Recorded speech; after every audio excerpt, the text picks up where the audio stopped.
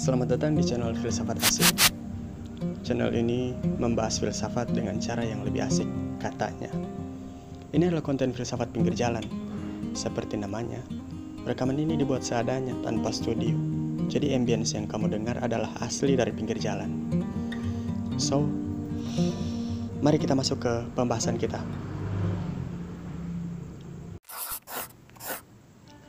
Ada beberapa pertanyaan ketika kita mendengar kata filsafat. Satu, apakah dalam belajar filsafat harus mengawalinya dari masa sekolah atau kuliah? Menurut kami, jawabannya adalah tidak. Karena filsafat adalah ilmu umum yang paling dasar, seperti memahami bagaimana logika dan nalar manusia, intuisi, dan lain-lain. Jika kamu terlahir 50 tahun yang lalu, Mungkin jawabannya adalah iya. Kamu harus menempuhnya lewat jalur institusi pendidikan khusus. Namun, dengan majunya dan ketersediaan materi yang sudah terkumpulkan saat ini, kita bisa mudah mempelajarinya lewat cara-cara mandiri. Namun, jika kamu butuh spesialisasi khusus dalam filsafat, misal untuk menjadi pengajar, pemateri, dan seminar atau kajian, menempuhnya lewat jalur pendidikan adalah jalannya. Namun jangan lupakan, inti dari filsafat adalah menjadikan manusia yang mampu memahami dan mengerti. 2. Apakah filsafat itu bertolak belakang dengan sains? Jawabannya adalah tidak. Karena kita telah mengetahui jika filsafat adalah akar dari ilmu pengetahuan. Hal utama dari filsafat adalah mencintai kebenaran. Bagaimana mungkin sains akan bertolak belakang dengan filsafat? Atau sebaliknya. Mungkin kamu mengambil contoh Nikodemus atau Pitagoras. Namun yang terjadi sebenarnya adalah orang-orang itu sedang mengemukakan gagasan atau alasannya. Sebab kebenaran kan harus diuji lewat bertukar pendapat dan diskusi. 3. Kenapa filsafat dikatakan ilmu yang bertele-tele dan menyesatkan? Stigma ini muncul karena beberapa orang tidak terlalu suka dengan gagasan dan opini, mendengarkan orang lain. Mereka tidak suka. Beberapa orang hanya ingin hasil akhir, tanpa mau mendengarkan proses atau bagaimana hasil akhir itu muncul.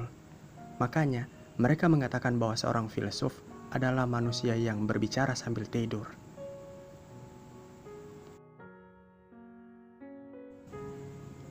Empat, apakah Mendalami filsafat harus banyak baca buku? Jawabannya adalah ya.